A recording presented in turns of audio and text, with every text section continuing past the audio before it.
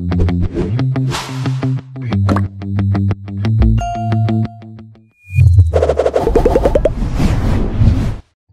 for wise spending. Here are some important things to take note of to spend wisely. Try to save. No matter how little your income or allowance is, always try to save some of it. As soon as you get it, save some part of it so that you won't end up using everything at the end of the day and then become stranded. We all have different reasons for saving, but your own reason is known to you. You can save based on your own reason. Even if you don't have any reason, still save. This is because no one knows what exactly is going to happen tomorrow, but you can be prepared for it. Although it isn't just so you can be prepared to tackle something bad, it can also be to maximize a rare opportunity that may come up. Close your eyes. Avoid unnecessary spendings. Try to avoid things that are not a must for you at the moment.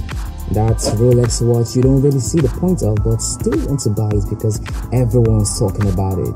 Or that pair of Balenciagas that you know will shake your pocket, but you still want to look cool.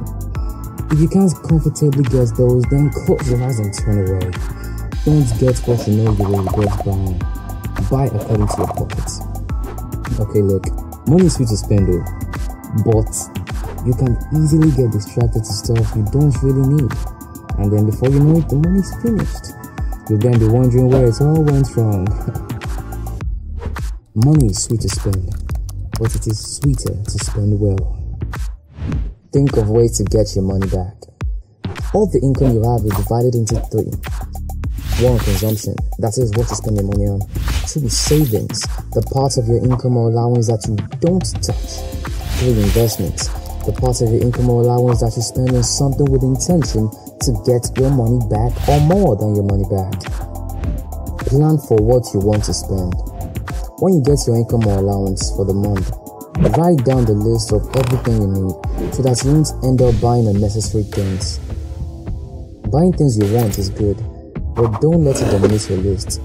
Making a list of what you need to do with your money and sticking to it is what makes the list effective. The saving formula.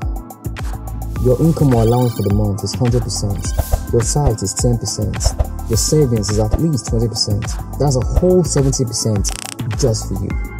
If you like this formula, then you can go with it. Alright, this has been just a few tips that we recommend you could use to start saving. And of course, there's no better time than any than now to start saving.